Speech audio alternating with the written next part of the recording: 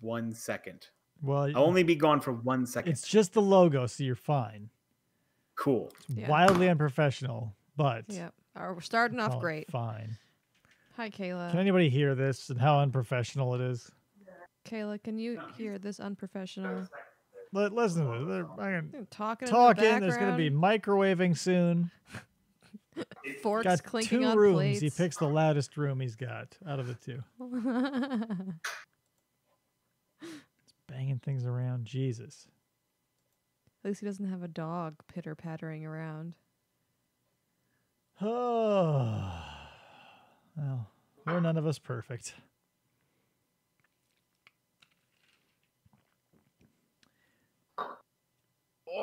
Jesus Christ. We should ask him if he's got some bread. He's put his. Uh, why would you have bread? Bread? No, RJ had bread. I know. Do you have some sort of food so that we could just keep the trend going? I don't. I ate like good. half an hour ago. Uh, Kayla says I can hear the unprofessionality. Good. I'm glad someone is here to witness how unprofessional this is. Professional city. Hi, Kayla. PJ rolls back up to the mic, grunting and scratching and s- shooting snot out of his nose. Lord. All right. It's uh, it's just reminiscent of my streams, dude. Look at, look at this hat, man. Look at this hat. well, you're showing me, so I yes, I can see it. However, the show hasn't started yet, so no one else. Even I can't see. Not it. even uh, Krista can see it. Kayla says it sounds like he's This ring light keeps like Well, your auto exposure on your camera is going to be uh, it's- rough yeah. because it's a webcam and it's on a laptop. What did Kayla say? Uh, it sounds like he's weightlifting. Oh, because of all the grunting. Yes. So they kept saying you can't hear the weights. Oddly quiet weights. How many did you take any notes, PJ, for tonight's show? I've been taking notes all week. I haven't, but I usually don't for things like this. Um, I've been talking. I t- like. I've been talking about this game to a buddy of mine all week. So I usually yeah. talk to one of my best friends on the phone every day, here's the, and well- usually I go back and forth with them about stuff like this. So yeah. I, well, I don't. I don't want to get it too into it yet because you almost got me started. The show hasn't started yet. Um, what, so we got three minutes in. How Got many two people? and two. Two and two. Okay, I've got my notepad here. My classic composition style Handy dandy notepad, notebook. which is actually just a tablet. I heard about your like etch a sketch thing. Right? It it's it's something I gave my boss one and she uses it all the time. It's such a useful thing. Like just how many times have you reached for scratch paper and a pen and had neither? When this you can use a million times. And I like I, I didn't even invent the fucking thing and I love it. I I would have used it it. at my last job probably a lot because at my last job I needed scratch paper all the time because I'd constantly be writing down like notes and stuff when I get phone calls and whatnot. But like I now at my current job I would never. Mm. Well, I mean, I would never use This it. is for like home home work or play, PG. I keep one here in the studio, so like if we're doing I an like to write whatever- though. If I'm the, the my problem is though I like the feeling of writing on paper. This this is a very specific purpose though. It's not this isn't something you keep. Like I keep this here for like if I think of a question while someone is talking and I don't want to lose it, bam. If I want to draw like a discreet wiener off camera, bam. Does it? I do it. So, like Andy uh I, I badmouthed him the whole last live w- using this, so it might happen to you. But you'll you'll be We- probably watching the stream, so you'll see it. we still need to play peekaboo with everybody. Peekaboo. I'm trying to get it together. People are very unreliable. Yeah, you, it's it's amazing how quote unquote busy people are when on Discord all I see them doing is playing video games. I was gonna say they're not busy. No, I know. I know I know RJ's schedule. And I'm like, I know some other people that I gifted the game to a bunch of people, and I know that they would play if I gave them like a time. Yeah, we just need to. I don't know why it's. That's the thing about getting someone to play a game with you. It's like torture to them. Because if you're like, hey, try this game, it's so fun, and they're like, yeah, and you're like, god damn it. They're like, ah, you don't like fun. Dave. That's that's my reputation though. So I guess I've been my problem. torturing Rob to play a game like a, a co-op with a game with me for years, and he I can't for the life of me. If I can get, And I'm like, my I don't want to play the game solo. Right. I'm like, I want to play it in co-op. So Right. I've literally been hanging on to it for years. I'm like, you, I just want to play it. we can play tonight's game on co-op if I can get my controller to work on Steam, which I have not yet. But we'll talk about that during the show. How we've been on for five minutes. What? How many people are here? It's the same. It's the Oh, same. that's right. There's multiple players. Yeah, Yeah. up to four. We'll talk about it because the show's about to start, PJ. So Okay, here we all right, go. all right, Let's all hear it. You're listening to FFOP Radio. Reach the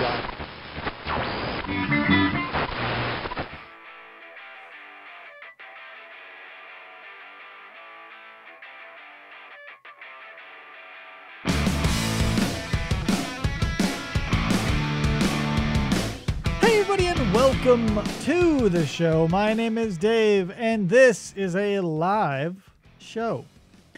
So, you know, it's Friday, Flamingo Friday, hashtag Flamingo Friday. So let's get some, rid, uh, not rid of, but let's get some housekeeping out of the way up front. First of all, you can see this nifty little shirt that I'm wearing. It's not actually a shirt; it's a onesie. Oh my god, it's ridiculous. Dirty Randy. I should. I What? forgot to text you. Yeah. It's a so here's here's the story. I get a package from Amazon. I say I didn't order anything. I open it up, and it is this this flowered shirt. And I look at these flowers. I remember that I like flamingos. I say, "Oh, it's flamingos." I flip it out. Dirty Randy send it to me. There's a little thing inside says something for Flamingo Friday. I put it on. Krista looks at it. I say, "Look, flamingos." I'm wearing this thing for like an hour, right? Uh, I say, "Hey, Randy, got your gift." He goes, "Yeah, I'm so pissed." Because I sent him a picture. I was like, "Cha-ching, check it out," and he goes, "Oh, god damn it, they screwed it up." And I was like, "How?" He's like, "There's no flamingos on it." And I look down, and I'll be goddamn, he's right. There's not a flamingo on this thing. It's just a uh, tropical onesie. what do you call these flowers? The Hawaiian ones, hibiscus. It's just pink hibiscus. Because he sent me a picture of the thing he thought he, he said he was buying, which I'm sure he was, which looks exactly like this, same color. So there's just some uh, worker who saw pink just like I did, and was like, too. flamingos, slam dunk, boom. So now I've got this jumper that's pink uh, flowers, not flamingos. So I threw on my flamingo gator cloth. It's so funny watching him put this romper thing on. Like Rompers are a strange thing. not meant to wear with boxers also. What I only wear, I only have boxers. I'm just saying. You have to wear them like the Scottish wear kilts. Nude. Well, I don't know about that, but at least we're like no, they- RJ. Here's the thing. If- PJ. this is sorry, sorry, we've PJ. Already messed Something up and you haven't J. even introduced him yet. oh, sorry. Yeah, let's introduce our. Um, yes, guys. I'm here in the in the woods, in the weeds. It's hashtag Flamingo Friday. Welcome to the show. Uh, you've heard Krista, and let me zoom over to the video here of our guest. We have da da da da da, da PJ on the show. Here he is. Not RJ. Not RJ. We have PJ. Everybody, here's the thing. I have Andy and Adam, and I have RJ and I have PJ. Thanks, everybody. like, whatever, whatever. So, welcome to the show. PJ back on the show after pff, days, probably. Yeah. It's- yeah. This is Seven days. very quickly turning into uh, PJ the sidekick. Yes. hmm Like you're you're my um depending on how old you are, you're either my Ed McMahon and or my Andy. I'm younger than you because you're old. Yeah, I know I'm old. Who was Conan's um sidekick? Andy Richter. You're my Andy Yeah. Richter? My Larry Bud Melman? Anybody? Gah. Anyway, guys, so here's what we're doing tonight. PJ and I wanted to review a game together. So what you're seeing uh, on the screen right now, actually right here, is the the the. I I was hoping. I shouldn't have. When I'll tell you the story later, I was hoping there would be like a. Uh, what do they call them, PJ? If you don't play for a while, a demo. Oh, like uh like the yeah, the, the demo screens that Yeah, I was hoping there they was just gonna play be- like footage, just random Yeah. footage. I was hoping that would happen, but that was foolish given what I'm about to tell you. So I said, PJ, I, I found a game we can play. It's old school. It's cheap. It's and and not only that, it, it was a technical marvel. Obviously, we're talking about Micro Mages. You can see here. So the way I found this game was, I think YouTube. I was busy at work and YouTube was on autoplay, and it was just like, hey, here's a six and a half minute documentary about a video game. And I was at the printer and I couldn't hit no. And so I, whatever, I went along for the ride.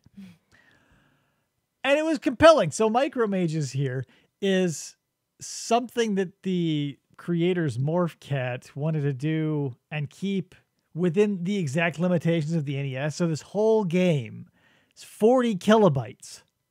Wow.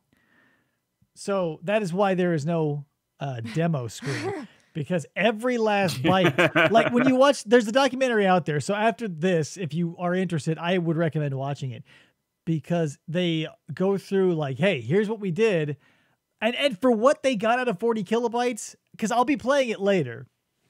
Amazing. Um, so first impressions, PJ. Um, are you a are you a classic NES style game fan? yes. So I mean, that was the first system that I had I that growing up. NES is um, always hit or miss for me. For some reason, since it's so old, I always think the controls are too slow or there's something like not computing fast enough. I always found fault in the game. It's probably just me. No, I mean there's there's slight input lag, and even in this game there is slight input lag.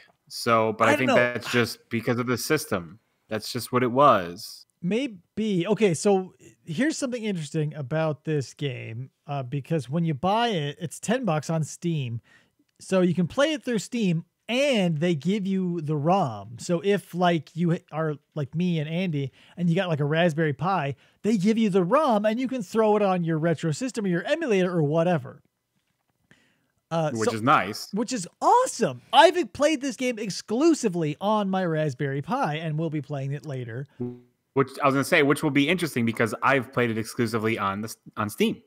Yeah, So- and I because I thought you know, a modern day computer is obviously going to run a 40 kilobyte total game, totally fine. So I thought I'd give this a try and see if it can handle. Obviously, it can, but to see if there's input lag, and I don't know. I think this is one of the most responsive NES games I've ever played.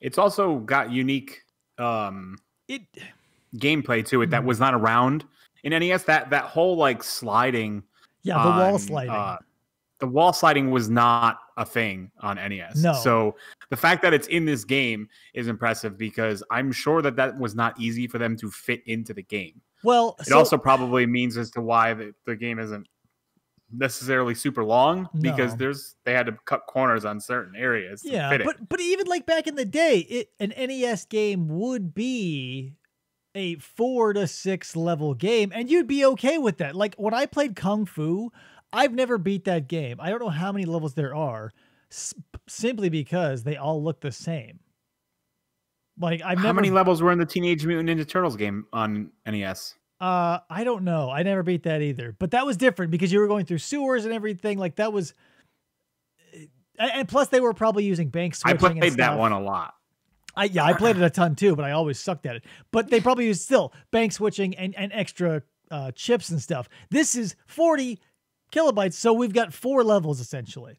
So and it, Yeah. it, it does definitely um it, it's it feels cannibalized from the parts of other because like the wall climbing thing, I feel like everybody's touch point for that is like Super Meat Boy.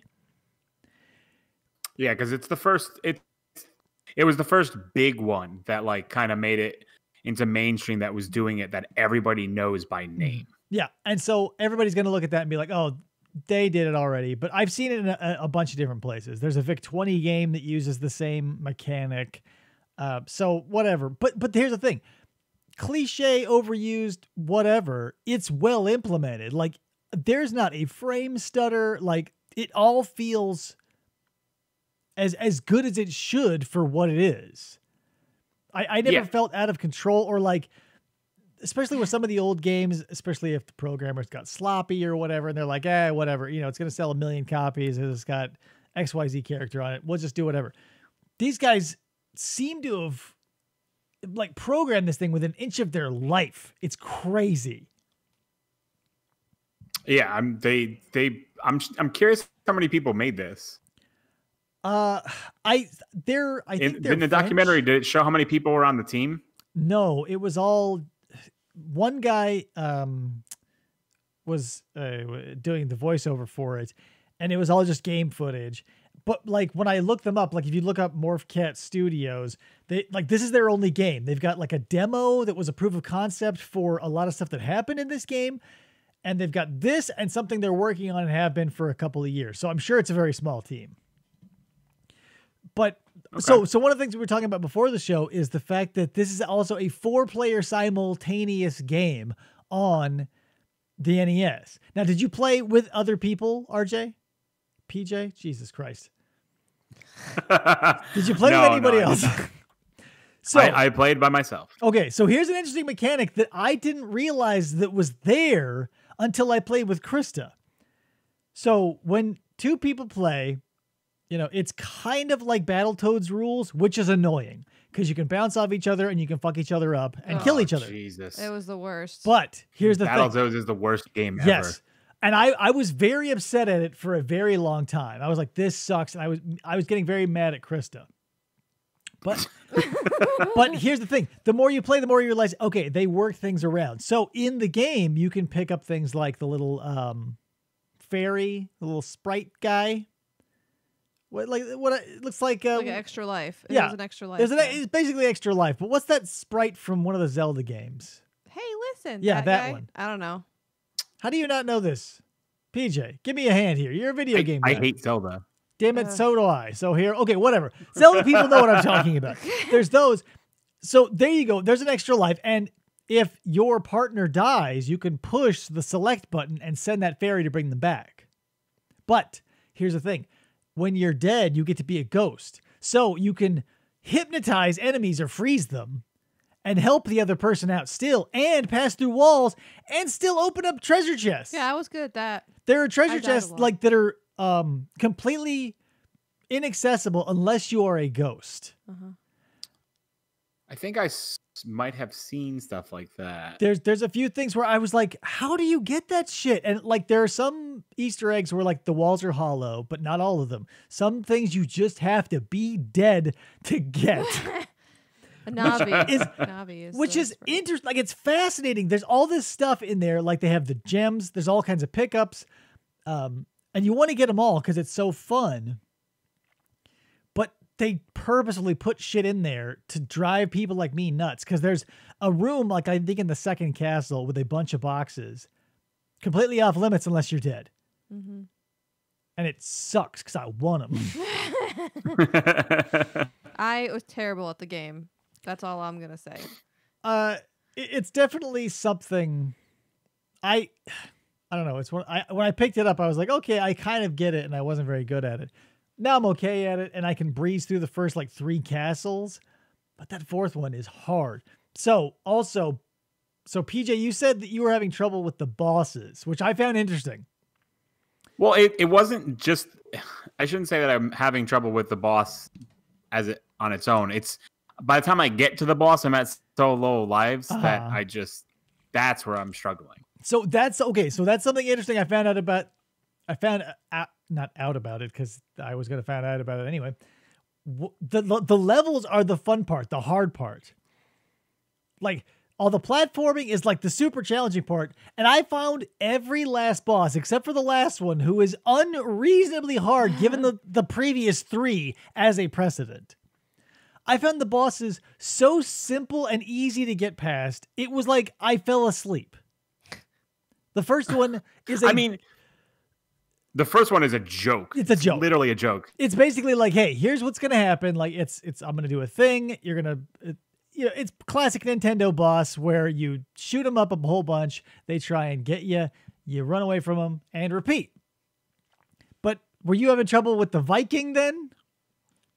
It's mainly because like my so there are times when my brain just decides to not work and I Mhm. like heavily focus on certain things, which is why like platformers aren't always my strong point because you need to be focusing on multiple things at once. Right. Um, whereas I don't do that well sometimes in games. So like I can hyper focus on things. So I play like shooting games and stuff. Super Mm. focused. But like in a game like this where there's multiple things going on on the screen, I just completely ignore some things sometimes. So I'll be like, oh, I forgot that that's happening. Like I yeah, I definitely get that, but it, it took me a while to wrap my head around it because especially with that wall climbing or wall scooting, whatever you want to call it, mechanic, and the ability to like shoot, and then you get the seagull later that'll give you a little fly. Like it's amazing. I didn't even realize that you can shoot while you were hanging on vines for the longest time. That's I that's the thing. There are so many things that you can do that you wouldn't even like. Did you realize, PJ, that if you push um down on the D-pad, your character will just start dancing? It's in the manual. no. It's labeled. It's, it's up is look up and shoot, left, right, blah blah blah. Down is literally just labeled like dance, and he does it, and it's hilarious. And and I I, I think the characters are adorable. I think that now you didn't get far, so here's what I'm going to tell you. It right. is, um, I don't know if this was intentional or not, or if I'm just pulling it out of my ass, but it is keeping in the themes of the 80s so much that it's kind of like an 80s children's movie where you know when you're you've you've obviously played the first two castles so it's like you know you're fighting little skeleton guys and they're like dee, dee, dee, dee, and you're just kind of hopping around and it, th- there's nothing really major going on like, like there's the goat that shoots bubbles and it those yeah. first two levels like they there's an increase there but by the here's the thing by the time you get to the fourth castle it is now a full-blown like horror game i Really? yes and and it it i i'm hesitant about how much i want to tell you here because in the manual it only explains up to the second castle but this is a dissection so fuck it we're gonna do it Mhm. so first boss is your your ghost you know, so so easy. He's like do do do do. He just sort of floats along like a little jellyfish. He'll uh, try and touch you. You zap him a whole bunch, and he's like do do do. Fine, done. Second boss. Let me check my notes because I can't remember. The Viking. Forgot Viking. So the Viking gets a little more challenging. You got the Viking in the middle, and he shoots lightning. Is it's Donkey Kong Basically. with a guy shooting lightning down at you? But we got two barrel throwers, which you can kill. By Yes. the way. I that I did not know. Yeah, you can because I was like, these guys are assholes, and if I can kill them, I will. And I did. So then you get to the third level, and that one stymied me for a long time. Like I've been playing this game for weeks now, and the third level kicked my ass. But we, you get to it, and this boss is even a bigger joke than the ghost. It's Really? uh, yes. I, I couldn't believe it. It's a knight who's so big he fills the entire screen and is as such just sitting the whole time. He sits. Sometimes some rocks fall out of the sky, and you just keep standing under him and shooting his head, which never moves because he never gets up out of his chair. Uh, I like point like it's so easy. I couldn't believe like I was like, this is a boss. So by the time Castle 4 hits and it's a full blown horror game, and we've got these skeletons. So, okay, so like early on, they have the little green ghosts, and they're adorable and they float at you and they're like, boo, and they got little smiley faces. By Castle 4, it's like these horrifying giant green skulls. And they they pull like a boo sort of thing where if they see you or you shoot them, their jaw like practically becomes unhinged and they like it's frightening. They scream and they run at you, and you're a tiny little maid shooting these tiny little Hadoukens at this giant screaming green bloody mouth skull. And so I thought, I thought I was going to be able, and I can't confirm because I still, I I died before the end. But so the the first boss, final boss stage, kind of reminds me of Castlevania because it's multi uh, it's like Dracula with his multi stages. I only say that because they're Mhm. bats and it's uh, Space Invaders with bats. And I was like, really? This is the end boss? And then came a giant eyeball and he kicked my ass up and down to uh, like I was like, okay, so like whatever. So I, I wasn't expecting a great boss, seeing that one was a ghost that died, you know, by blowing your nose on it. The Viking, the knight who never got up, and then this eyeball shows up that is like death, destroyer of worlds, who just rolls in. And whereas, like, you know, the first boss is like, I'm gonna get you, and they telegraph like the Viking each lightning bolt takes somewhere between nine and 20 minutes to generate. And there's like a little thing that grows and it goes zap. This eyeball is just like ruthless bitch. so I can only confirm at least two stages of the last boss. There might be three, or there might be, I don't know. It and that's the thing. There's also like a hard mode and a nightmare mode. Ugh. I can't even imagine. Me neither. And I so here here's the thing. There's almost no story.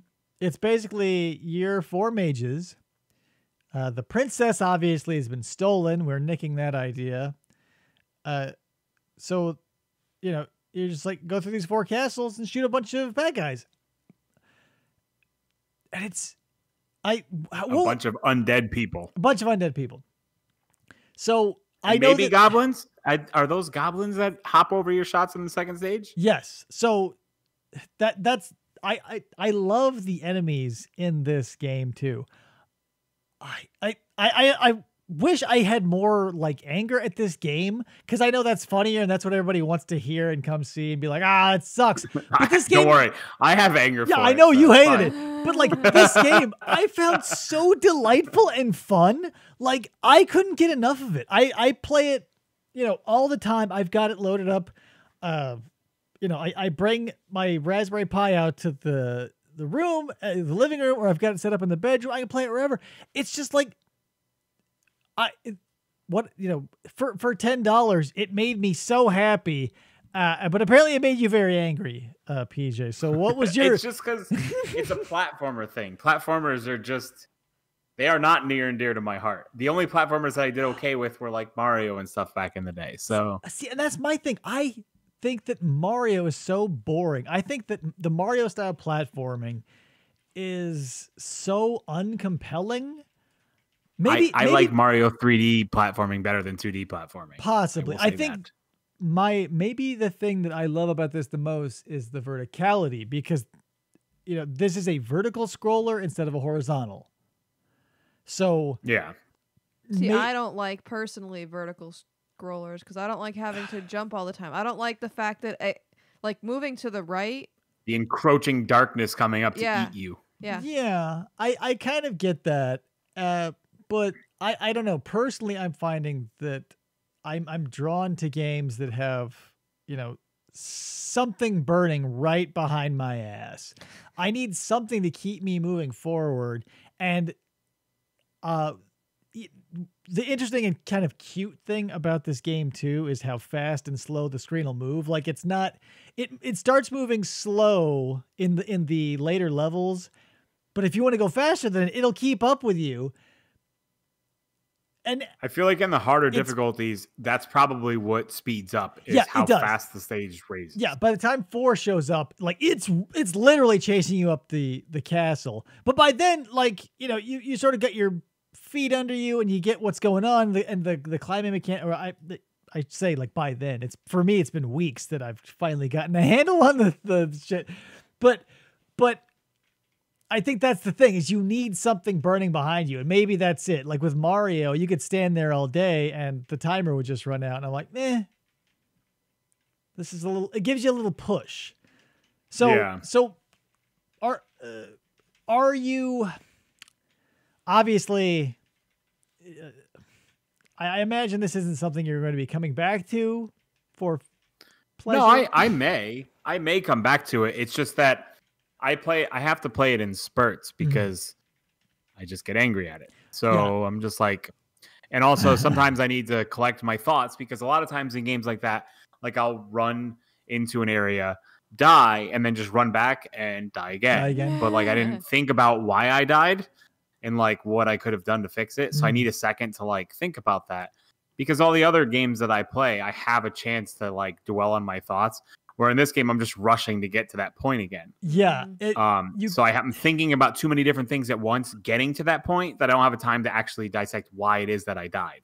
Yeah, and it makes you so angry because it, it it does like put like it'll give you you know everything you need is essentially given to you at random like the hearts you know all the little gems and the pickups and all the extra lives and stuff you know whatever all the boxes i feel are generated at random so I, it- you, you do sort of want to get back into it and i think that one thing that drove me back more and more is like I, I want to know how this found you. When you die and like the little blood uh, splashes sort of shoot out of your body and you're and you fall in a heap.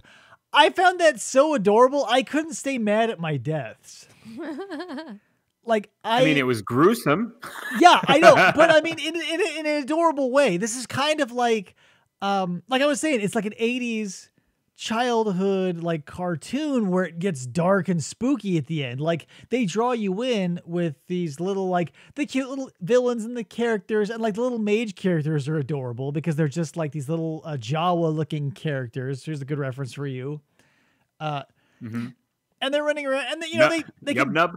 yeah, you know, or Ewoks, and you know they can dance, and there's all this, and, like they're adorable, and that's juxtaposed with like when you die, like you throw your arms in the air and blood shoots out of you like in two directions, and like it splashes on the walls, and your body falls in a heap. Like it's such a I don't know. I I that's the thing. I like it so much. It's hard for me to be like this part I hate. Like even the fact that it's hard, I'm totally fine with because since it's only four levels, if I'm able to blow through it, I mean, all NES games are hard. They're not easy.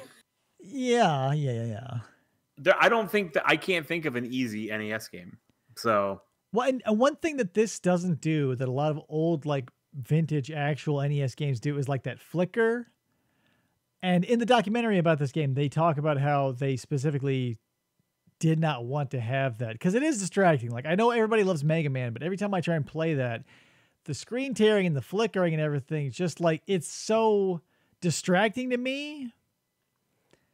And you know, maybe I'm just a superficial uh, asshole who gets stuck on all the the superficial details. But like since this the the animation of this game is so smooth and so fluid and so great, it, it made me want to keep going back because I knew that see, maybe it's just me, but in the back of my mind, when I see flickering graphics, I know that's a limitation of the programming or whatever. But in the back of my head, I'm thinking that's a glitch. Something's gonna freeze. I'm gonna lose this run. And this doesn't do Yeah. that at all. And which I think that's part of my thing too, is Nintendo you know, it was still the wild west of video games. They were trying to get everybody back on track. And so playing Atari games at my grandfather's house, I had that track record of like, oh, this sucks, that sucks. But they were buying them left, right, and center because they were everywhere. And the Nintendo, the quality was there for the most part, but there was still the flickeriness, and maybe that's my thing. Is I just I just never learned to trust PJ. I just never learned to trust the NES. So- heart broken. so it looks like I'm looking up Micro Mages. It looks like only two people made this game. I, I'm not Okay. surprised. Um, the Yeah. there was you know obviously the only two people made Super Meat Boy. hmm The designers are Julius Riecke and Nicholas, but French. They're Yeah, French. they're they're French guys. And then the programmer is just the one Julius guy. The artist is Nicholas, and the composer is Julius, and that's it. Yeah, I and for, and 40 kilobytes. And so you know whatever. What uh, what we can do here is if you guys are interested, I will play a little bit for you. Zwing, and remember this is on the Raspberry Pi. So as you watch this, boing. You got to show your controller. Uh, do I? Well, I'm not speed running. Yeah, but no, I meant like not sh- literally show video footage of it. Just show it. Oh, uh, what do you mean? Like So hold it up people to know the what kind of camera? controller you're using with the Raspberry Pi. That's all. Oh, uh, well, the whole screen is being taken up by the game right now, and I can't. Yeah. But it, I'm. It's just what it- it's. It's a Buffalo Classic USB gamepad in the shape of a um, SNES controller. It's the most ergonomic I find. So here's the thing, RJ, or God damn it, PJ. Here's uh, look, there's the fairy. Fairy. So look, here are the adorable little skeleton assholes. Here's the adorable little character I am. You can see the fairy running around me as we speak. But did you know this? If you're a confident asshole like myself, uh, and you're like, you know what, I don't need a checkpoint flag because I'm so good. I'm just gonna straight up uh, not checkpoint at all. I'll show you something. Oh crap! Just kidding. I accidentally hit it. Yep. Moral of the story is you can shoot them and blow them up for points. However, you can't uh, check in. Obviously. so if you're, I this uh, oh, I actually. So the first time I found one, I shot it and blew it up. I didn't know I was supposed to walk over it. I Yeah, literally I- just shot it. I did it accidentally. So. Boing, boing, boing. I was like, I was like, I had to shoot everything up to this point. I don't trust this flag. Yeah, it's and like so as, you, as you're watching this, you can see all the little all the little nuances. There's your dancing guy. So yeah, there's th- deep, there's deep. three levels in each of the four worlds, and the fourth level has a fourth, or uh, the fourth. I'm world curious as to what the level. four stars are. Uh, I don't. I've never gotten less than each- crap. I've never gotten less than four stars. So I don't think there's. And it's it. If I blow up all the crates, I blow up no crates. If I shoot all the enemies, if I shoot none enemies, I always get four stars. So I don't know what the uh, what the I, deal I, I think it's just a design thing, but I'm curious as to what, why, why. Uh, maybe. Oh, maybe it's the checkpoints because I haven't been able to blow one up yet. Oh yeah, maybe it's if you get all four checkpoints. I'll uh if I can get one that I can actually blow up. So here, like obviously, you know, we're getting a little darker. We got some bats. We had our little spooky skeleton guys that walk around, even though they're absolutely adorable. Kayla says it would be easier for you to just use J for both PJ and RJ. Just call them both J. True. Oh, I was supposed to call uh PJ. I'll be Will PJ Smith. You can call me Jay. God. Boing. So, uh, little known fact, or at least this is a fact I didn't know, because I thought this was a bald eagle. It's actually a seagull. You actually find a, an enchanted seagull feather that you. An enchanted seagull. yeah. You, so I was like, oh, cool, bald eagle. In a pretty dark badass. castle. Makes Yep. total sense. Ta da. Doot doot. Goats that blow bubbles. Yeah, that's that's the thing. They're like little devil goats, but they're adorable because they blow bubbles. That's what I'm saying. Like everything in this game starts out as like cute and adorable. And see, here we go. So this is the first like uh, next level enemy, if you will. We got these little walking dudes because when you shoot them, they'll blow up and throw bones. Yeah, remember how that part about I told where my my mind only focuses on one thing at a time? when I would blow them up, I wouldn't pay attention to the, the bones that would come out of them at all. and and a lot of stages where where the goats were when you had like multiple goats attacking you at the Uh-huh. same time, I would skip a goat and then not pay attention to that goat's bubbles coming up from behind me. Uh-huh. And I would be like, "Oh, hey!" I would be like, "Hey, how did I just die?" And I was like, "Oh, yeah, there's another goat down there shooting bubbles." So and did you Apparently, that- those bubbles go hundred feet in the air. So Yeah, they that they they last. I can't believe how long they last. But did you know that you can charge up your your magic blast for a little baby Hadouken? Nope, I did not know that. I think we're losing frames because every time I try it disappears. But boom, there we go. Another seagull. That's the thing too. Since the pickups and like the upgrades are random, it'll hand out dozens of uh seagull feathers. And I'm like, Also, these like chainsaws on the wall right here is 100% Meat Boy. like, Yeah, I that's the thing. Everything here has been done already. But that it's it's done so well that I'm okay. If you want to rip something off, that's fine. Like everybody rips everything off, Mhm. but do it good. I also think that the the only weird thing I found with the controls, and it's because I'm not used to it because I just don't play games like this, is you have to when you jump, you have to um hit the jump button and press the direction of the wall, Yes. Which Yeah. I'm not used to. So that that's what- like I was trying, like I'd be wall jumping, and I would just a lot of times hit jump, and just totally forget to hit the direction. Yeah, and I I've been That was what would throw me off a lot of the time. the game I played that helped me get over that was like Super Turrican 2, I think, because like the first or second level is full of that shit. And I knew that someday I was going to have to use it, so I kept playing it. And here we Why are. Why don't you just Hadouken him, Dave? Just Hadouken him.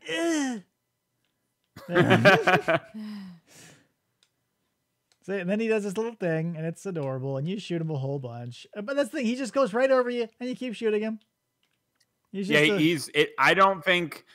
I think you would have to close your eyes yeah, and he- and pray that he actually hits you for him to actually hit you. He's an adorable little marshmallow flying around, and then you kill him. You can bounce around a little bit. Boing, boing. Wee. Well, I can't imagine playing this with four people. No. But now that I now that you can kind of see that dying isn't actually dying and there's still stuff you can do, it's not so bad. Like it's not a full blown Battletoads. Like you can just murder people, like your friends and acquaintances, and there's nothing they can do about it. it was so hard to like because when I played with David and he was getting mad because he'd be bouncing on my head because I'm following behind him, but there's nothing else to really do. Like I feel like if there were four people and there's four people trying to do the same thing, it would be a nightmare. Everybody would need to like split. Oh, here, here's your little jumping goblin there, PJ. Yep. Th- so when you uh Hadouken, does it go further than a normal shot? It does. So this, um, you can't really see because the for whatever reason the little shots of this guy are dropping out of frame, but um, it kind of has like the Mega Man thing where only so many of them can exist on frame at once. So, Yeah. The big one, since it it uh, takes so long, god dang it, it'll go farther. Like if I can Hadouken this guy. I didn't like that part either with the the tubes and you have to jump up onto the rope from the tube that you like go in and it pops you out the other side. Not a fan of that. Yeah, I mean, like I get I get it, but I'm not good at it. Yeah, these tubes can be super annoying, but like once you get the hang of the seagull, it's like game breakingly easy. Mm-hmm.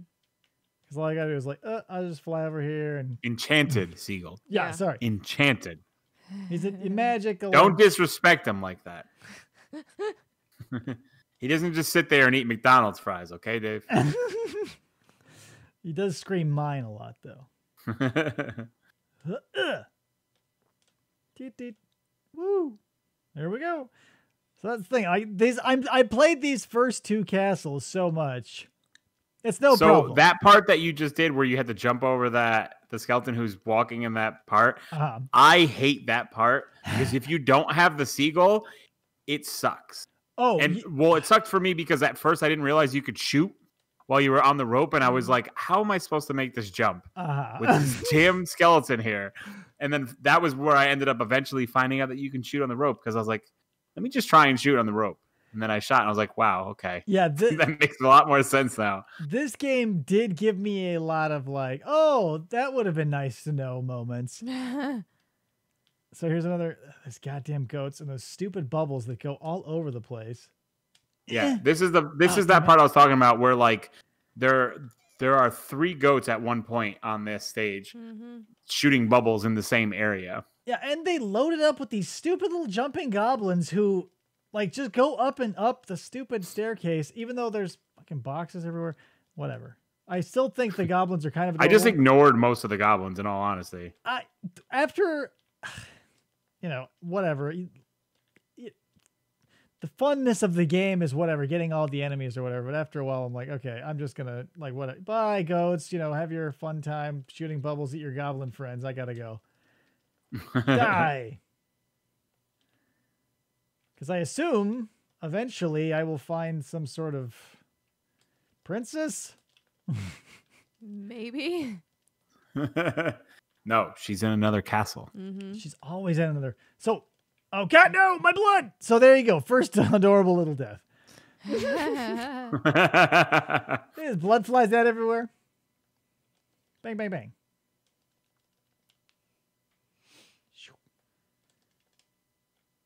And all all the treasures are so inviting, but they just give you points, and I realize that points are meaningless.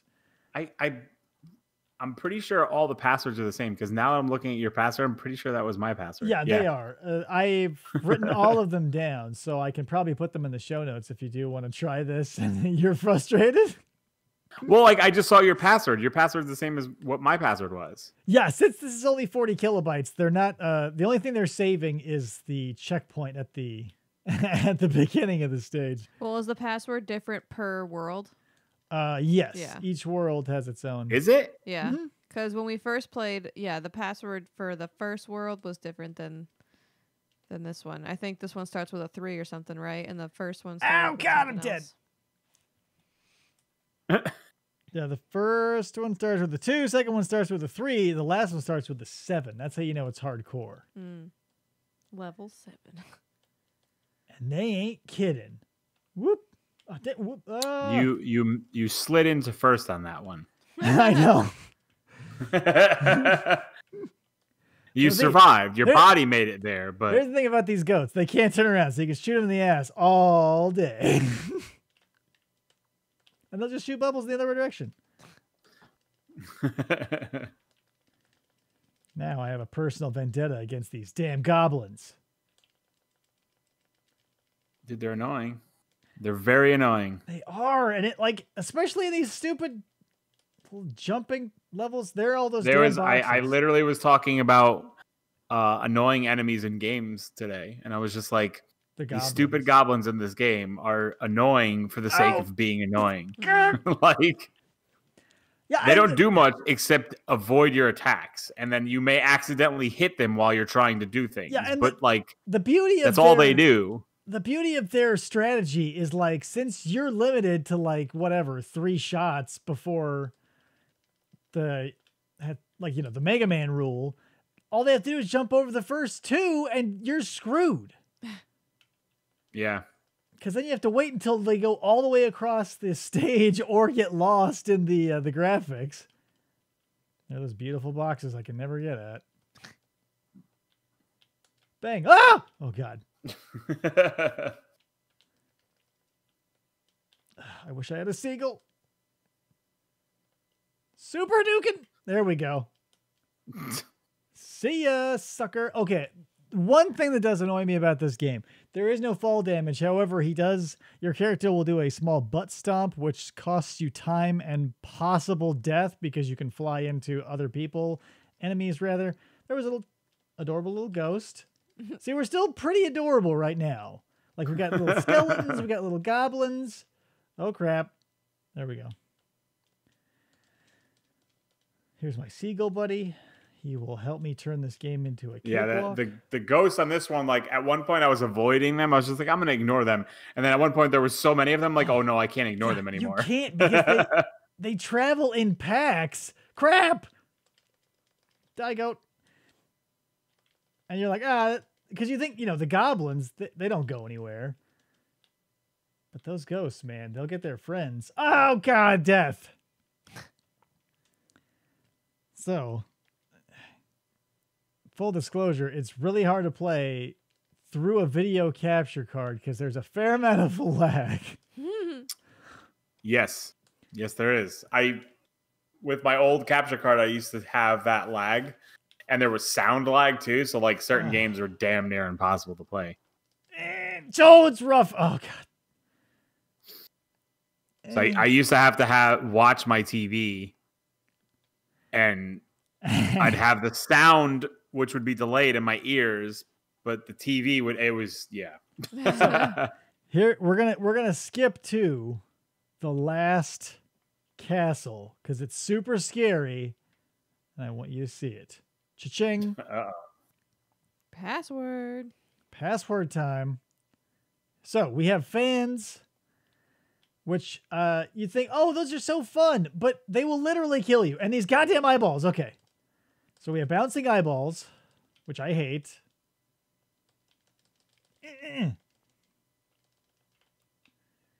We've Oh, got it's more purple. of these lightning. Yeah. Uh, uh, I'm just now starting to see everything. So it's got some eyeballs, some lightning, multiple of the bone throwing skeletons. Mm. Yeah, it's. Uh, I'm telling you, by the fourth uh, castle here, this is pretty rough. So, also, here's another guy. You'll notice uh, up on the top right here is the pitchfork throwing devil character.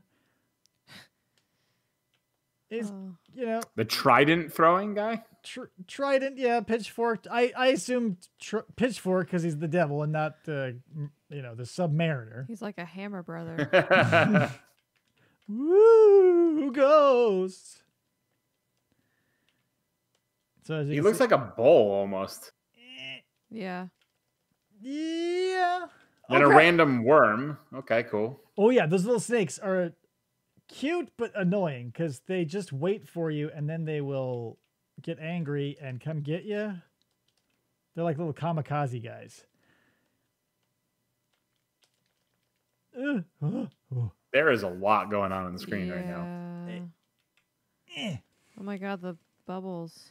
Oh, and I lost my seagull, which is going to be annoying. So here we go. Otherwise, I would just fly. Yeah, the seagull in this game makes things very easy, and when you don't have it, it like Makes it almost changes being- impossible. yeah, it makes it incredibly hard. Because, like, I, if I had a seagull, I would just straight up, "Er, crap, fly past everybody. Oh, wait. Maybe I'm an idiot. Let me try something. Yeah, something. you you could go around to the right. Yeah, I.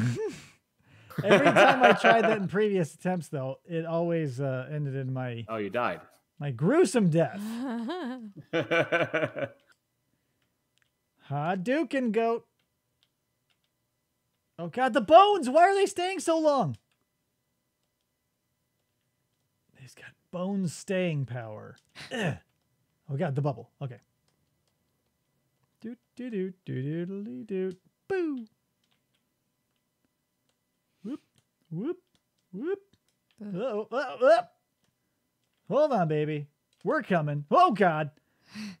Jesus. There's no way. Don't you worry I about can old. Dave. Wait for it. oh, nope. Yep, that's why. That's why. It's a fan, and they're very dangerous, PJ.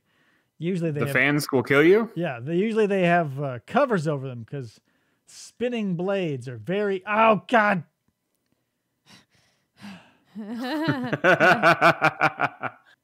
So the basically, if you were to see me playing this from the from the jump, like from one, and see me die, this is basically how it was. Because four is hard, but I'm so good at one through three, it's no big deal. And these goddamn dudes with the dumb and bones. you get to four, and everything changes. Yeah. Oh god, there's so many things happening. That's what I mean. Like my brain cease will just cease to function after a certain amount of things going on on screen. yeah. it's uh uh but it's it's the it's the right amount of frustrating i'll say that yeah it is frustrating because you got these goddamn eyeballs everywhere and uh, oh my god i hate them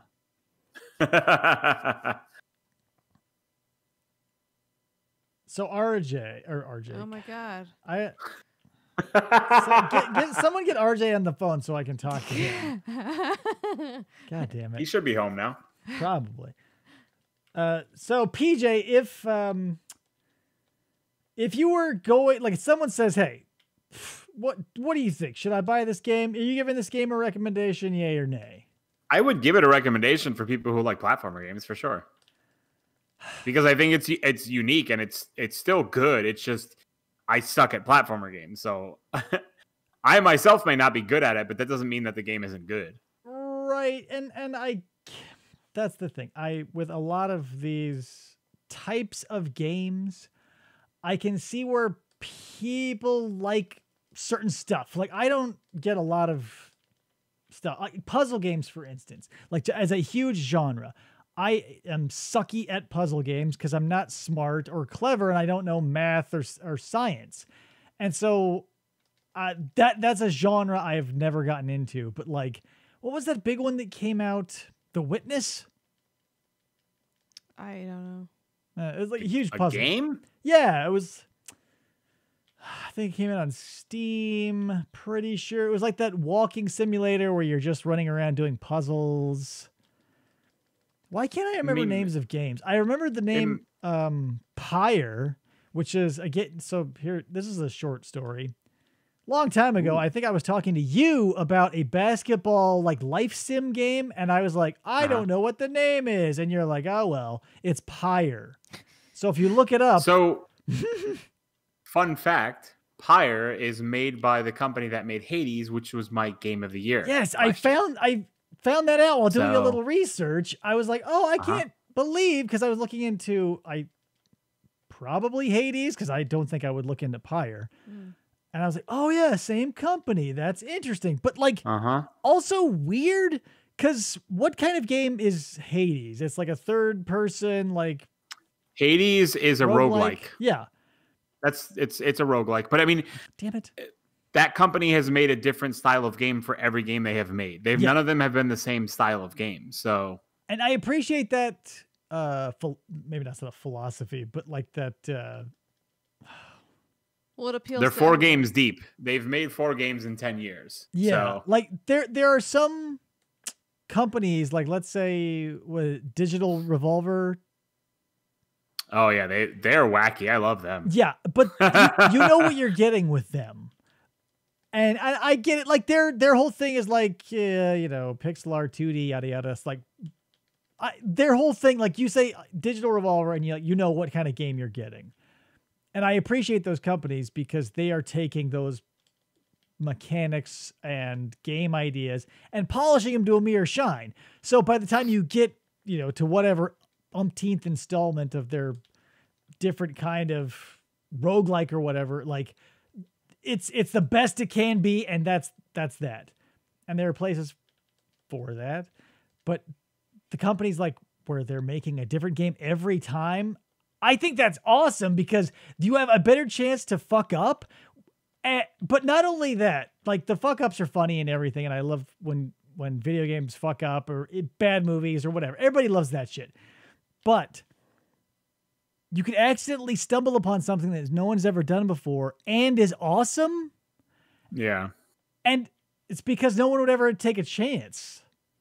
Like there's nothing groundbreaking about a lot of games that are coming out, but you know, they've got it down to a science. Like this game, uh, Micro Mages, they got it down to a science. It's 40 kilobytes. There's not a like a sinew of fat. Like there's nothing except meat on this thing.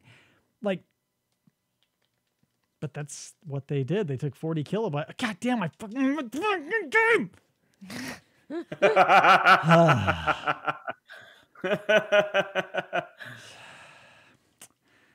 But so, uh, what do you, what do you think we should review next, PJ, if anything?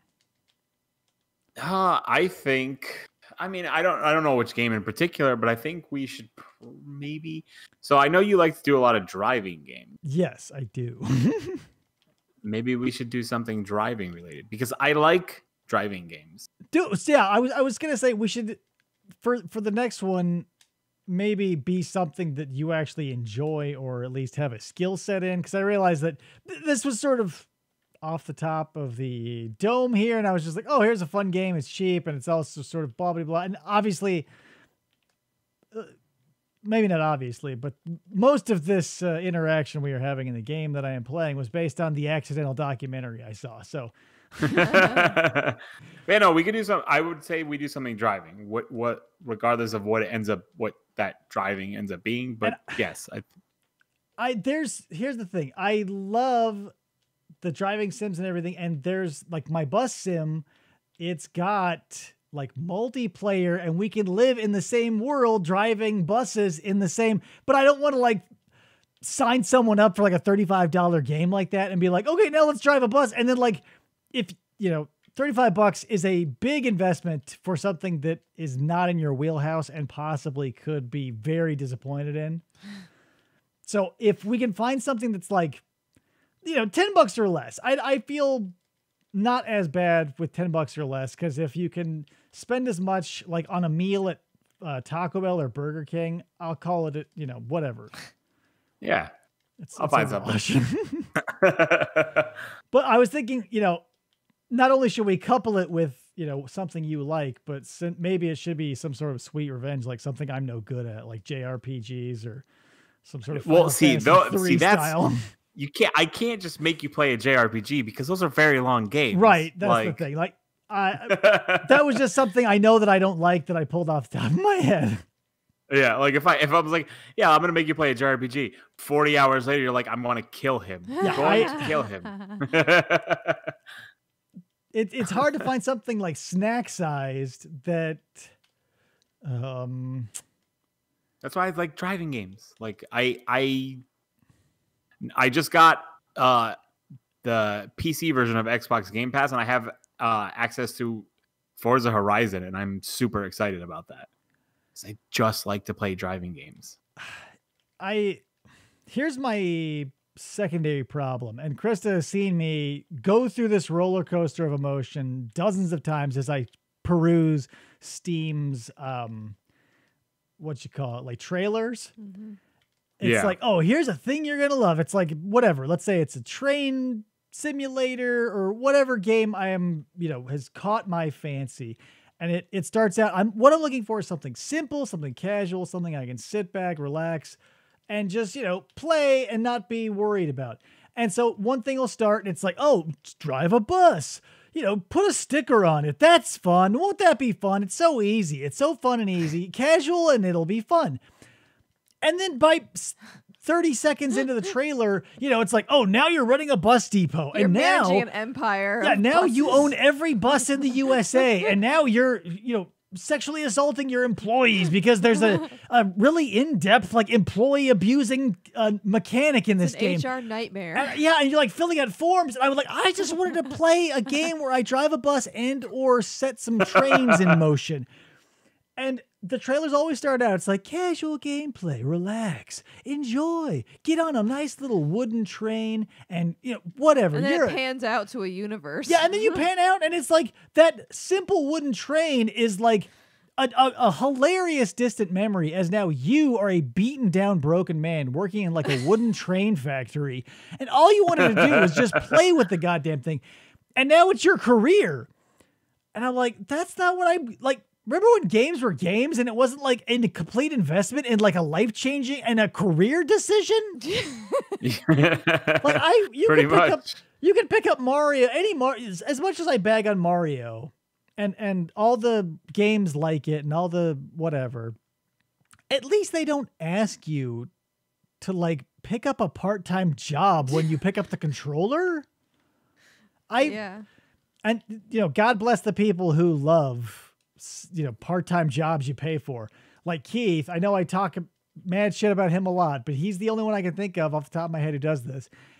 He'll he loves these games where they are jobs. It's like a forty hour a week. Like, up, oh, gotta wake up.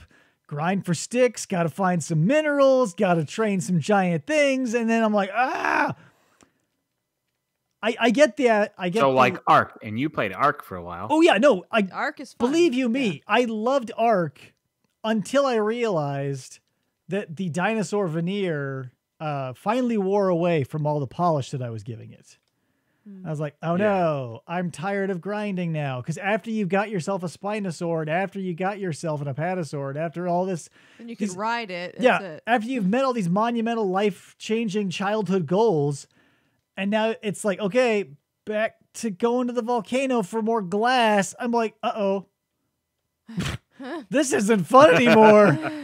Because it it turned the dinosaurs from fun giant monsters to it's like yes master the beasts of the field because it is your domain as man and these are simply you know whatever.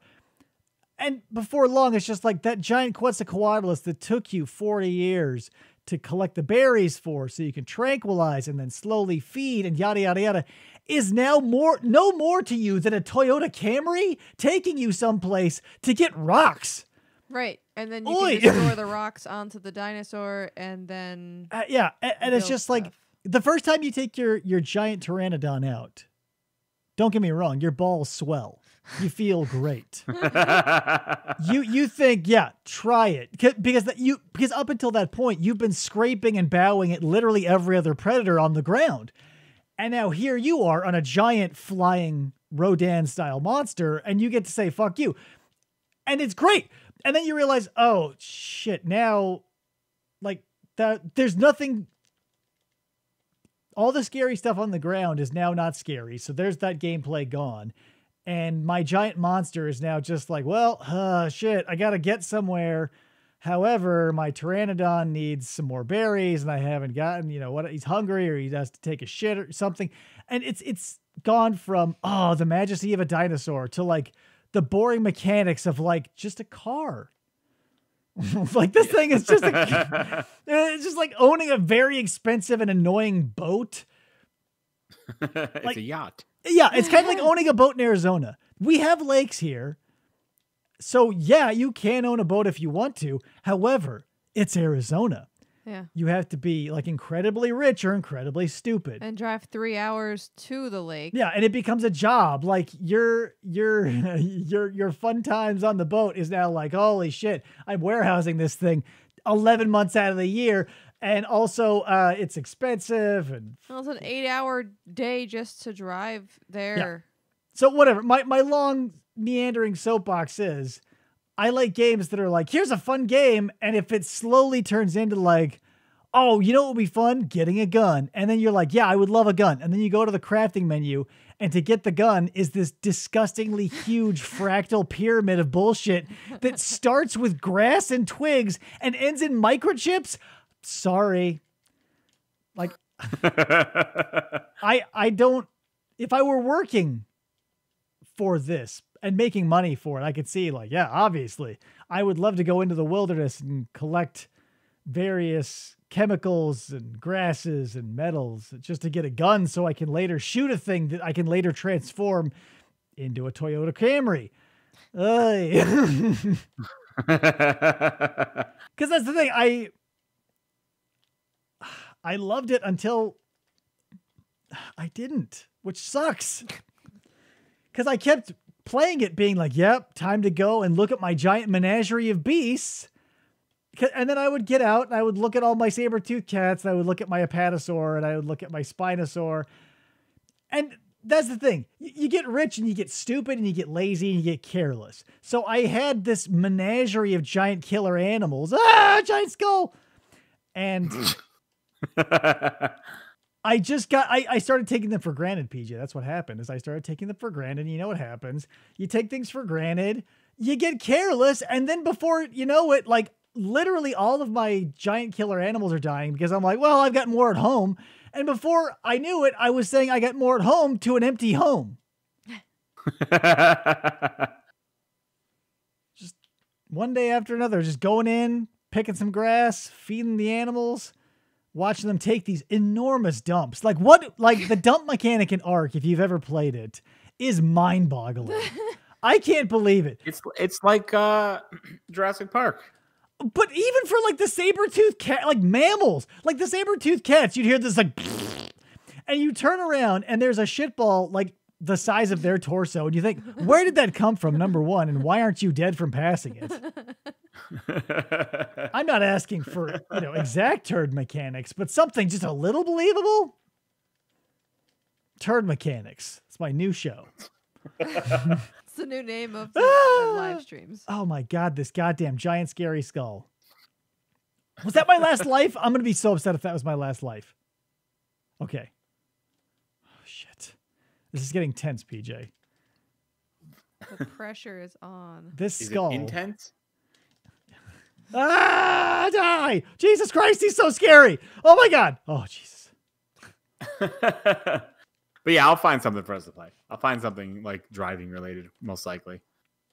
That that was my goal is to find something driving related. I something about driving. There's some. oh, damn it, that was my last life. I'm very angry about that. Because uh, to like, I think this weekend I'm either gonna play. So because I have Game Pass, Mhm. uh, I've downloaded the Medium today, which is a game that literally just came out this week. The medium? Yeah, it's like a um, it's a horror action adventure game that just came out on Microsoft Okay. stuff. Let me get your take Um, on. Uh, I'll I'll hold off until you're done, but I got a question for you. But you. yeah, that like I have that, and it's either gonna I'm gonna choose between that or uh, Resident Evil Three, which I know Snacks was talking about playing Resident Evil, but like I have Resident Evil Three because it was on sale, so I snagged the remake of it because I wanted to uh to try that as well. Yeah, I I would love to play. You know, some like I don't know if Broforce can be played remotely together. I know you can play local, but Broforce is something. Again, it's one of these ones where the the mechanic is ultra simple. You're just umpteen dudes. Every time you die, you come back as a different action hero themed character with bro in their name. I feel like they must have not that I'm accusing them of stealing, because obviously no one's heard the show before, but it is suspicious that we spent like seven years ending the show by putting my idea, by the way, by putting bro into names and keeping them themed, mm-hmm. only for Broforce to come out and all of them have bro in the title and it's called Broforce and I feel ripped off. Bro. Bro.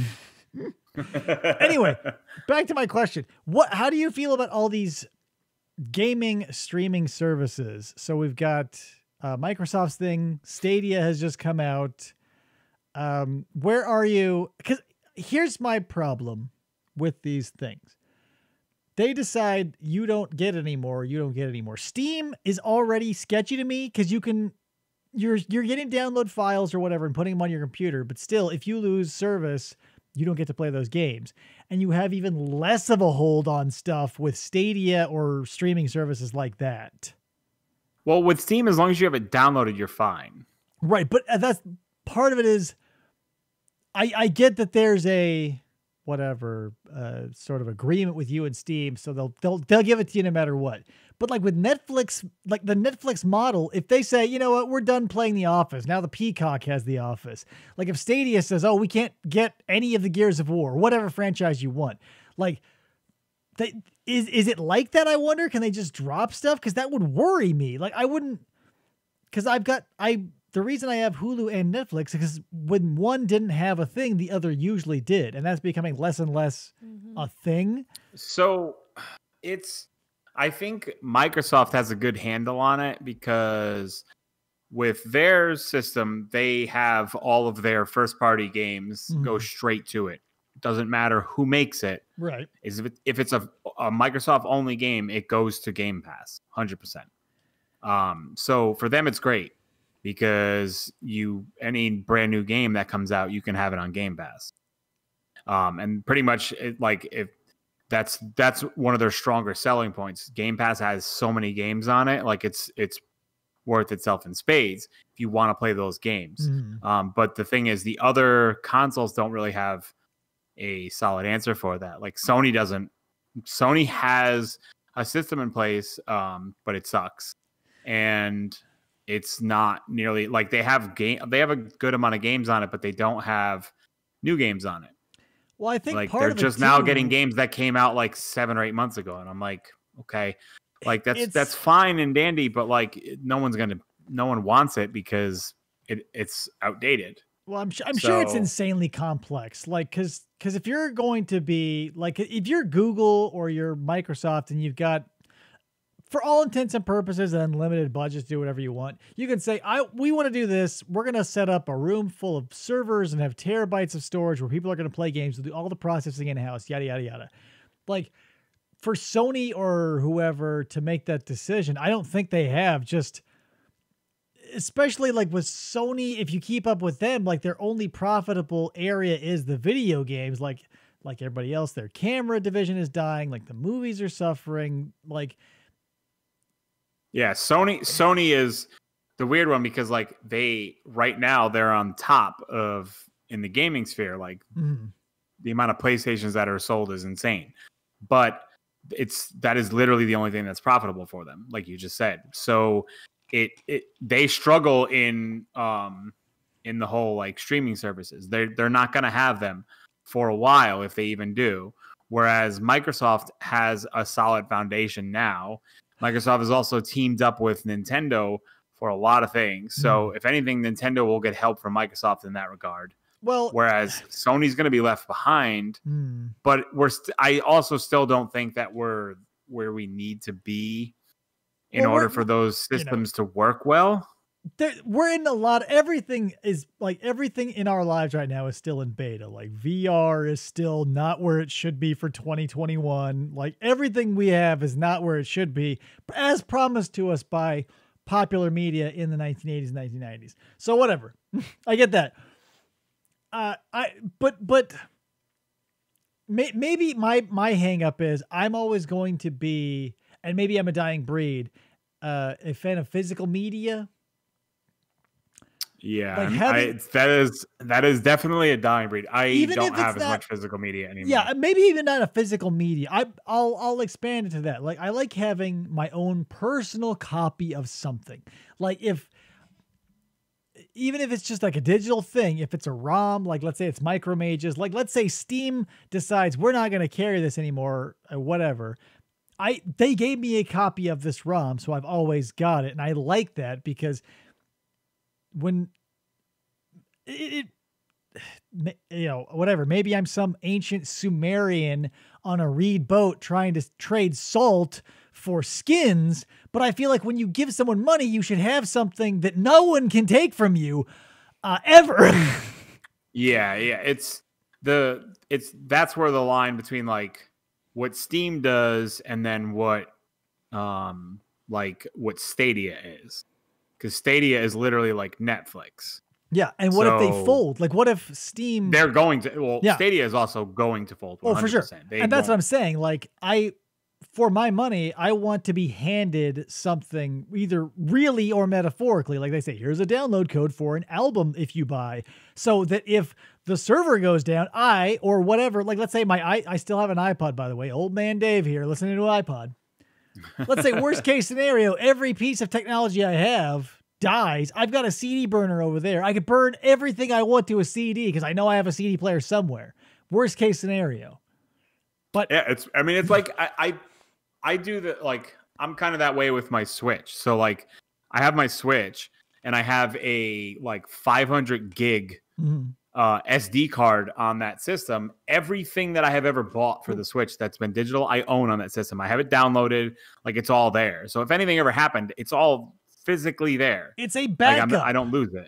and maybe maybe that's it. I I don't I don't know with with growing up because we didn't grow. You and I, were you was younger than me, you probably got more of this than I did. But I didn't grow up in a digital age where like I was, didn't grow up in a digital age.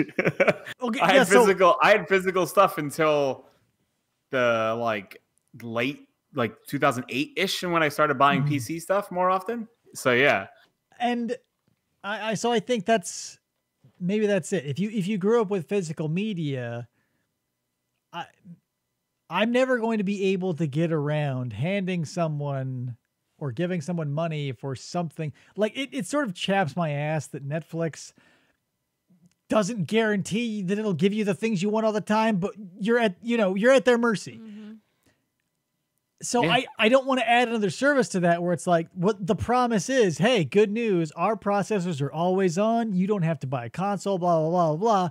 Psych, no one wanted it. Thanks for the money. Now we folded. Like how many how many streaming services all beyond games, like radio, video, movie streaming service, how many of those have come and gone?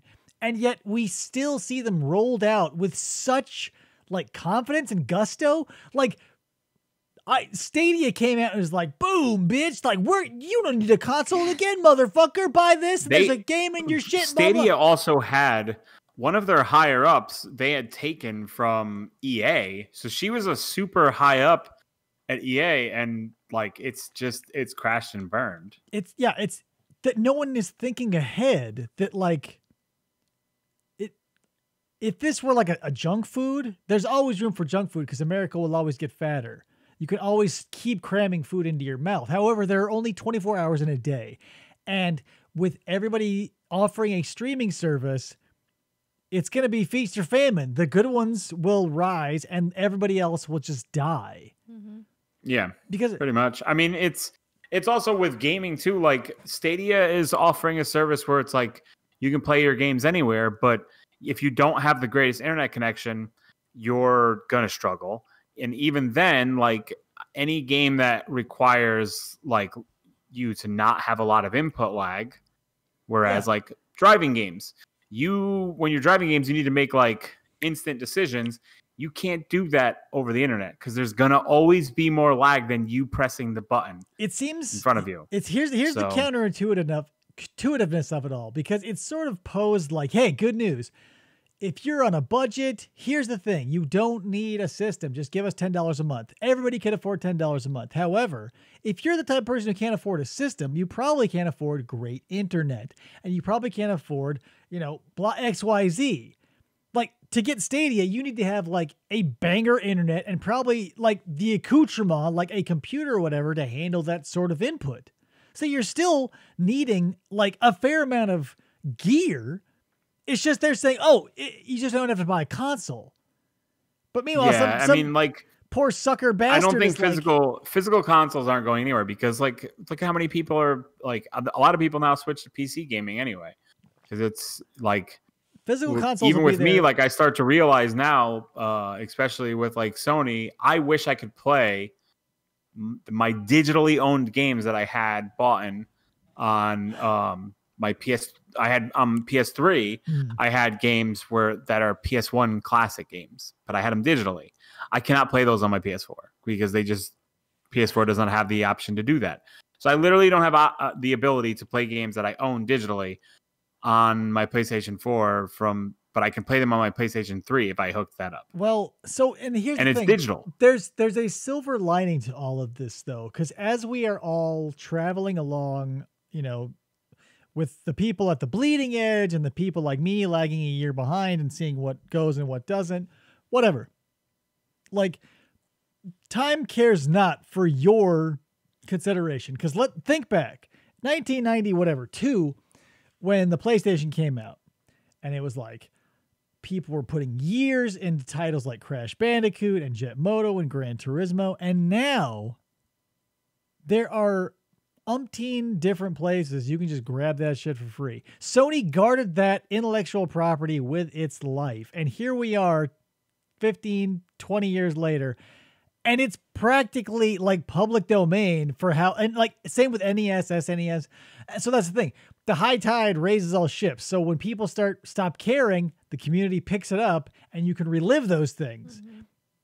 and maybe not even relive. Yeah, it's I just like I I want the ability to play those games. That's it because that's like I wish I think Sony would do well for themselves to make even if because they, don't need a streaming service no, like have a service where I can play my older games like because they don't have any emulators so they they have a hard time running the older games on the newer systems And- because they just don't uh, want to take the time to develop an emulator that can do it. Th- here here's here's what's bonkers to me. It's not like the Raspberry Pi community is a secret. It's you know, it, I, everyone is like, oh, full disclosure and disclaimer, yada yada yada. Don't steal ROMs. These are games are intellectual properties, but everybody does it in that community, and there's YouTube videos showing you how to do it. Uh, this is just something I'm pulling out of thin air right now. But if I were Sony or Nintendo or yada yada yada, and since like storage space literally takes up zero space, like see this little tiny SD card? This will hold 128 gigabytes in, in this little tiny thing. So why why would not Nintendo, Sony, all these other like Sega old games be like, hey, guess what? For since people are just stealing these anyway, why not Sony, Sega, Nintendo step up, be like, hey, guess what? For 10 bucks, you can have all these old ROMs. We'll put all the box art on them. You're stealing them anyway. At least we'd be making money. Mm-hmm. And, Because they don't want to take the resources and time to do it. That's re- that's really what it is. But they have it. All they do, like, it it would take one dude a month to take their catalog, you know, do what. But I guess there's there's problems with licensing. I get. So, but whatever, like Sega, all the games they legit like they own themselves. Like all these companies, Atari, whoever is still around, be like, hey, good news. we're releasing Raspberry Pi ROM packs. Every game ever re-released by Activision or Nintendo or Atari, blah blah blah. Ten bucks, fucking all of them, and it'll be fuck like seriously. If you wanted to make, I know you're interested in making a Raspberry Pi, a Yeah. retro Pi. So if you want to do that, and you wanted to put literally every game that was ever uh, etched into code for the Atari 2600, it'll take less space than a photo you take with your phone. You take one photo on your phone, and that will have more data in it than every Atari 2600 game ever. Yeah. And so that's why it's so crazy to me because Sony will say, here's a game. New Assassin's Creed, Ubisoft say, here's a game. It's fucking 75 gigs. And meanwhile, they've got a back catalog that encompasses millions of hours. And it's like uh, 17 megabytes, and it's like our entire catalog. It's yeah. so I e- mean, like it would be so even easy. even the biggest I for like instance, even the biggest PlayStation games were still like uh, some of the JRPGs were the long ones, like the four discers. Like th- those were still 400 megabytes. yeah, they're still way under a gig. Like, Way and and that those were the biggest ones. You weren't finding bigger games than those. Like those Yeah. were just massive in scale because they were literally 3 to 4 discs. So, it's it's nuts to me and and it's so crazy because like you you could because it's just that there's not i'm sure there's just not enough money for sony to give a fuck because sony would have to pay I mean, look at they look at they did the retro consoles. Like they did the the PS1 classic and it was terrible. Didn't have any good games on it because of licensing. Yeah. That that's it's really licensing that's the issue. uh yeah I- Music, images, whatever is on them. yeah it's, the license. licensing kept freddy from jason licensing keeps daffy duck from donald duck Hey, Yattering's here. Hey, Yattering, what up, man? Um, but yeah, I, I I get it. So, but I I don't understand why companies instead of being like, hey, let's come together, we'll make this project, we'll do this thing, we'll each get a little bit of money. We'll each get half of whatever money that comes in instead of getting literally no money from doing jack shit. And for some reason, to companies, it's always better to make nothing over half of something. yeah. And I mean, it's but- but- it's like the the games that I wanted them to remake the most, they'll never remake because of licensing. So right. Uh, that that's some things that'll always be, but that's where your like indie community comes in because when like big companies say, "Well, we don't want to blah blah blah," there's always somebody to come in and be like, "Well, we'll just take it." Like there are fan edits of every movie out there. Like just because you can't get it easily doesn't mean you can't get it. yeah. Mm-hmm. But then again, it's like, why not make it easily available? Like I don't know. it, It's always a money thing. It's yeah, always and, and that, it's it's beyond just video games too. I get that, but it, you know, if you can get Marvel versus Capcom, everybody can bury the hatchet and be like, let's shake hands and make some fucking money on these old video games. I wish they would. There's so many games that I wish I could play. Well, and you know what's also crazy is it would cost them nothing to just put an emulator for the old operating systems onto the new PlayStation.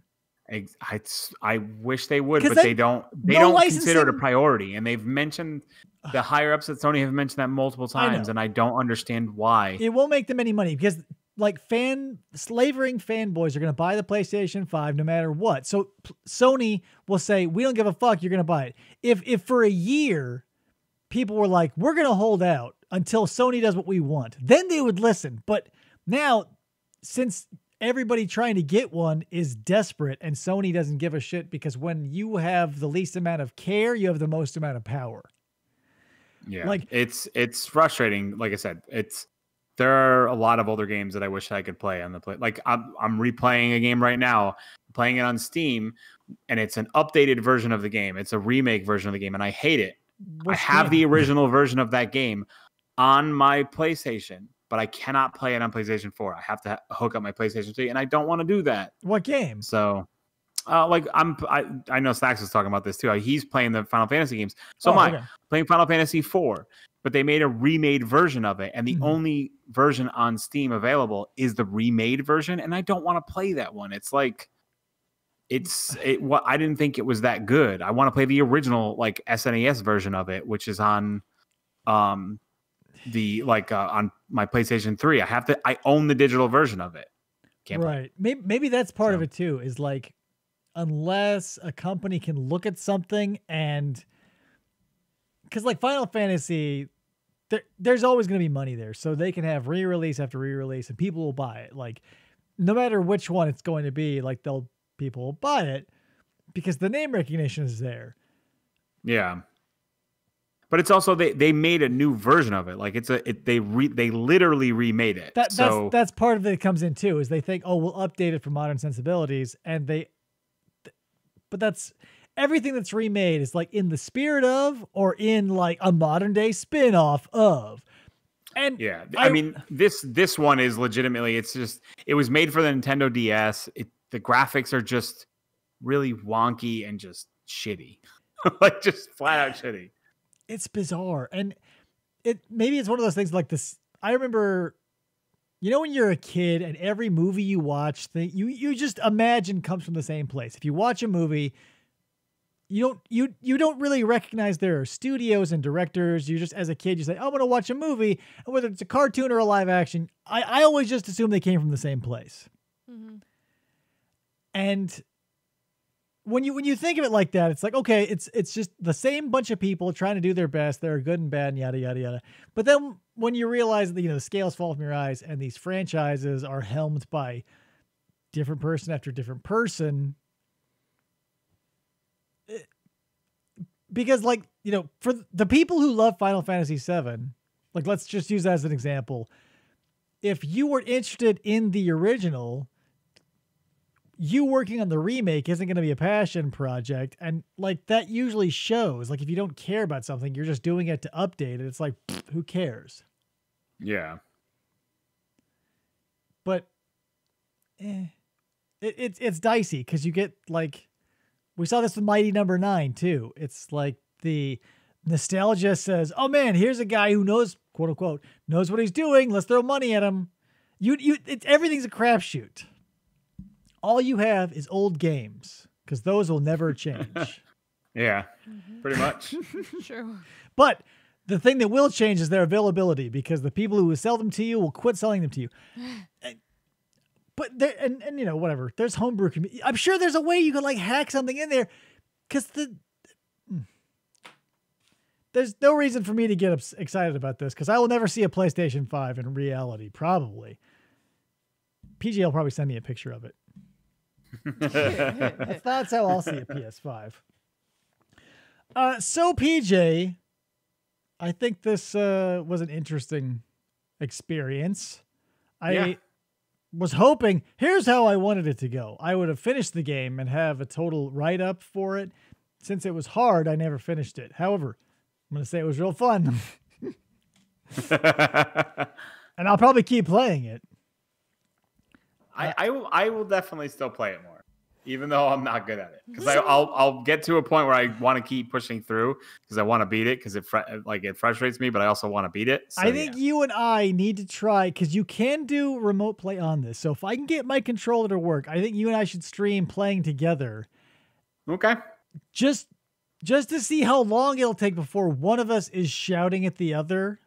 I don't think it'll take I'm sure that long. won't I- take yeah, long. I'm sure it won't take long, but I it'll be like you know the time that someone bet that I couldn't say here's the thing. Like Uh-huh. it'll it'll be over before you know it. But I think it'll be interesting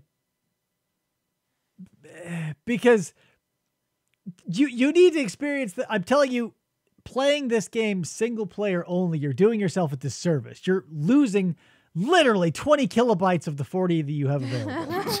I, I think that with a second player, it becomes more dynamic, more interesting, and more frustrating, but also potentially more fun.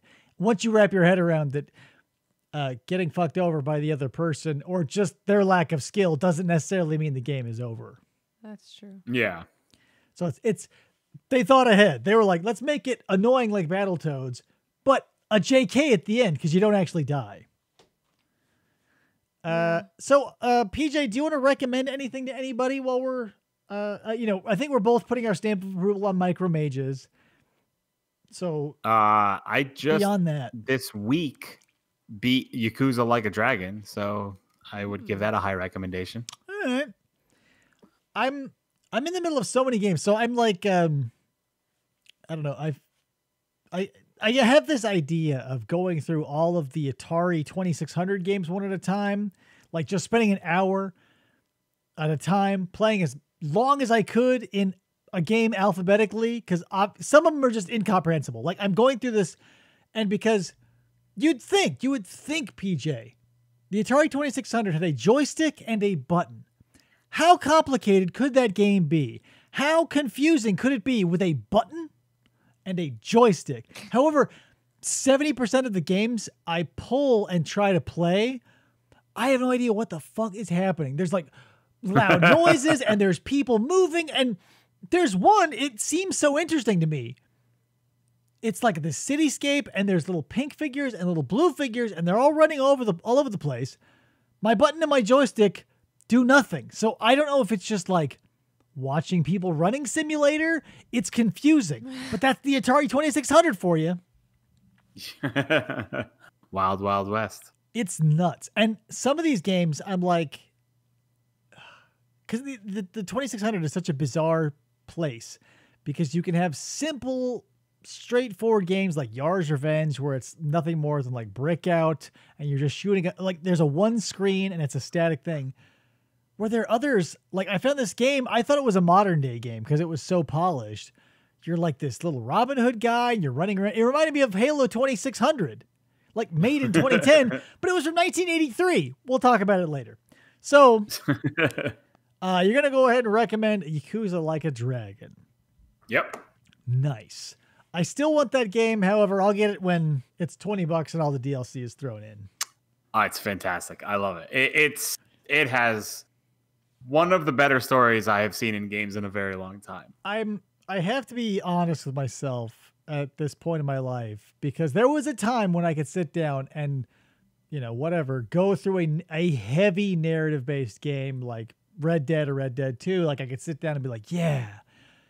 But then you have a kid and you have so little time. Like that's why I'm probably gra- like maybe that's exactly why I'm like oh Atari 2600 you start up the game, there's no story. You're a frog, you're a turtle, you're a dude running away from a robot. You've got eight seconds to figure out the game and play, and that's exactly the amount of time bef- you have before your son shits himself again. so the 2600, right the, like like it's like clockwork. yeah, Yeah. If you've got a kid, the 2600 is the best system for you because you eat some flies, then you go wipe an ass. Anyway, uh, I don't think I've, I don't think I've got anything to recommend beyond like the my little whatever tablet here that I've gushed about enough already. Um, I guess that's it, guys. Thanks for showing up to the show. Uh, typing square if you're still here. mm-hmm mm-hmm There's five people. Five whole people. Yeah. Oof. Let's be real. Uh, there there were times during this show that I checked out. I was so uninterested. So the fact that there are five people, no, nothing against you, PJ. I mean, like me, I was like, oof, what, who is saying all this boring shit? anyway, PJ, once again, thanks for being on the show, man. Like you're rapidly becoming a fixture and a um, you're you're like our senior video game correspondent. yeah, like uh, pretty much. So yeah, we'll we'll uh Yattering says, fuck yeah. And a whole bunch of bombs. boom. Yeah, we so many like whatever. I I, I don't want to go off on another tangent because I can, but I won't. We all know you can. I've got so many. There's many. never s- a time when you can't. yeah, I mean, here's the thing. Uh, Here we thing go. about stories is I've got so many of them. None of them go anywhere. I don't need to tell them, but somehow I still keep them. like that one. Like that one. That wasn't a story. That's just explaining why I keep so many stories. Mm. because there's really no reason. Hmm. Anyway, Uh, yeah. So, remember the last time, uh, PJ, when you were on the show, and I was like, next time I'm gonna have an outro. Like I'll write it down. Yeah. Guess what didn't happen? No outro. Here we are. Uh, so anyway, uh, happy Flamingo Friday, everybody! Thank you for tuning in. Um, I've got some stuff in the works, which I'll keep you up to date on. We've, uh, I don't like. Here's here's another quick story, PJ. I don't like telling people I'm doing things because nine times out of ten, the thing that I'm trying to do falls apart. So yep. I've tried not to tell people I'm doing things because I know they're not going to work. This I think is going to work. So I'm going to be uh like co-hosting a movie review type show coming up. We've got a pilot in the can, so whatever. If you're interested in that, there's my recommendation. Um I'll keep you up to date. Technical difficulties as we go, obviously, because it's me at the helm, or at least behind the camera. Um, I don't know. I guess that's it. What else is going on, PJ? I know we're uh, we're ending the show, but I feel like now's the time we can really just sort of relax, What's going on? check in with each other, you know, get the lay of the land. No, all right, we're out of here. no, I don't want to keep you any longer. I'm sure your girlfriend is like, I'm tired of being quiet. So, guys, once again, thanks for watching, and we will see you next time on a live show here on this channel. Bye. Bye. Bye.